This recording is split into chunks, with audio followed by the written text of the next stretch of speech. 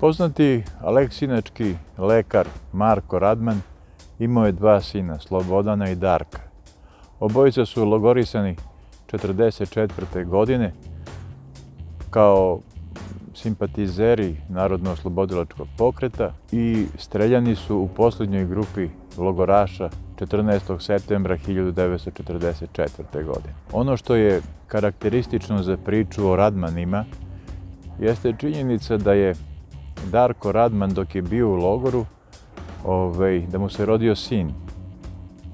Kada je otac došao da mu saopšti tu vest, Darko je izrazio želju da se mali zove Dejan. Tom prilikom je ocu dao svoju krvavu košulju, krvavu od batina koje je ovde podnosio, sluteći verovatno da neće izaći živ iz ovog logora. Braća Radman su streljana 14. Ovaj, septembra 1944.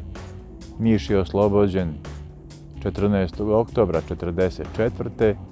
i nekako u tom metežu oslobođenja supruga Darka Radmana je nestala sa detetom.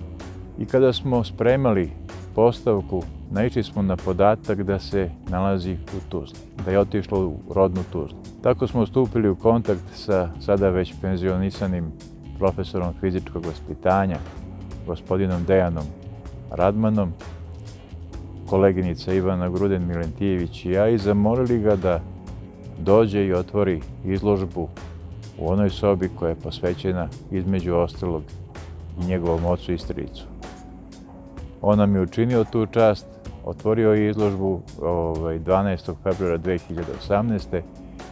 i Narodni muzej Niš i mi koji radimo na logoru to smatramo jednom velikom čašću.